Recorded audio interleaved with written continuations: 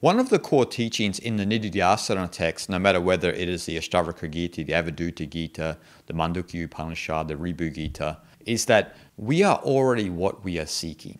And this is drilled into us in the Ashtavakra Gita, where Ashtavakra is trying to drill into us that the self, the Atman, the undifferentiated consciousness at the core of you and I, which connects us as one, which is the ultimate substratum of Brahman, the ultimate reality, is not far away. It's not a destination to get to. We are already that right now. But that's very hard for us to understand from an egoic jiva level.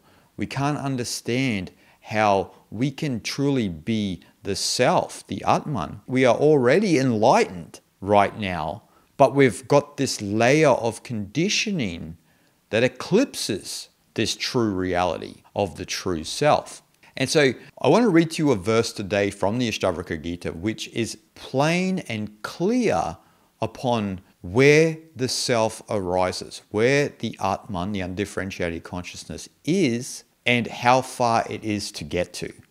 So without further ado, the self, which is absolute, effortless, immutable, and spotless, is neither far away nor limited it is verily ever attained. So Ashtavakra gives us a glimpse of where the Atman is and what is required to be it. As he says in this verse, that it's never attained, it's ever attained. It's always within us.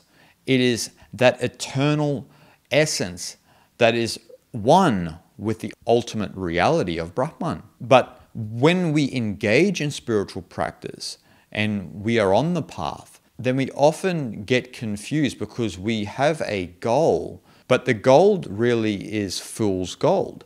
Because often when we get to a certain goal in our spiritual practice, we realize we've only opened up another avenue or channel to further our practice. William Walker Atkinson once said that as we go up the mountain on a spiritual practice, we often get to one peak and then look above and then we realize there's another peak to climb. And the point with what Atkinson was trying to say is that the destination is the journey itself and that we need to get out of this habit of thinking we need to attain goals. This comes from a linear perspective. And a lot of us, particularly in the modern day, have a linear perspective. And when we think in a linear way, we are in some sense out of sync with nature because nature itself is non-linear and it's cyclical. And so when we relate this to the realization of the self, the self is not something that we can attain. It's not a goal because it's ever present and it's always there, even though we think it's something to attain. Now, I'm not saying that you should give up your spiritual practice. You need to continue to cultivate and to, in some sense, down regulate your sense of ego through spiritual practice so that this light begins to shine more and more through you. But one of the shortcuts is to try and reinforce into your mind that you are already the self. Now, I'm not talking to you as the ego or the jiva, but I'm talking to you as the ultimate substratum. I'm talking to you as the Atman. You are already that. It's not far away. It's not a place to get to, it's already there within you. And so Ashtavakra mentions in this chapter effortless, that the self is effortless. What he means here is that the self has nothing to exert for. There is no need for action. The self actually is ever inactive. It is tranquil, it is calm, it is serene, because it is one without a second. And even saying one is, in some sense, not sufficient but we are, in some sense, at the perils of language, so we can only use the word one. And so the best way to say it is the Atman is one without a second. And so it is completely inactive because even in the realm of action, there is not a doer doing the actions, if you understand what I'm saying. The doer of actions and the thinker of thoughts are the one who causes trouble in the world. The one who is in the effortless grace of the world, or the effortless flow, to use Taoist terminology, wu wei, there is not a person doing it. It is the universe doing you. It is not the jiva doing it once you reside as the self. And that's what Ashtavakra is trying to say here is it's ever effortless. It doesn't have to exert any effort. It is completely inactive because it's purely calm, even though action arises in the self, as a wave arises in the infinite ocean. Another interesting word he uses in this verse is spotless. Now, what he means here is that the self, Atman, is without attributes. And so it is qualityless, it is without qualities. Now, this is where you need to understand the differences between Saguna Brahman and Nirguna Brahman. Saguna Brahman is with qualities, Brahman with qualities. Now, what that means is, from an absolute sense, is that all of us listening and watching this right now, as a jiva, as a personality, as someone who is a doer of actions in the world, you are in the field of Saguna Brahman.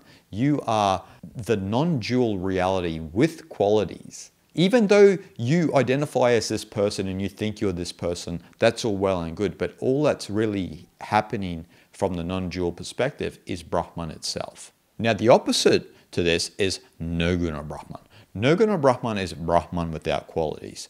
And we could say that this is probably the ultimate nature of Brahman, which is without qualities. It's Brahman without qualities, without the material world, without all of the energy and matter of the universe. It is just without qualities. Even though that's who we truly are as well, we are still Nirguna Brahman.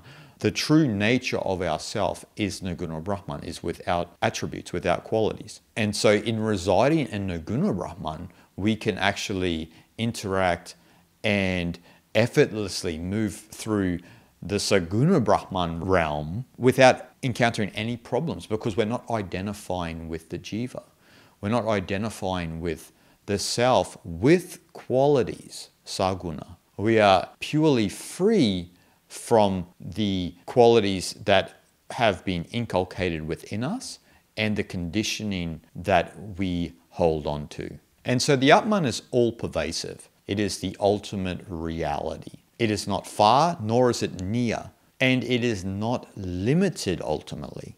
It can never be limited. It's unlimited. Obviously, it's eternal. And this is what Ashtavakra is trying to point out. It's not something that is bound and not a goal. Because even when you, if you said the Atman was a goal, it's a thing that we need to reach. And that is completely different from how we would think about eternity and the non-linear perspective of the Atman. And so the Atman is not limited. Things that we see, sense objects, even the senses themselves, are limited. They work within a sphere of limitation where things can be attained because we don't have it. If we don't have something in the material world, we can access that, we can attain that because we don't have it, we lack that thing. But when we talk about the Atman, we do not lack that. We just forget that we are that because we have layers and layers of conditioning which eclipse our true nature. But we need to remember that it is our true nature and we don't need to attain it because it's ever attained. It's always a part of us. And this is one of the core understandings of all non-dualism is to get out of this idea that we need to get somewhere to attain something.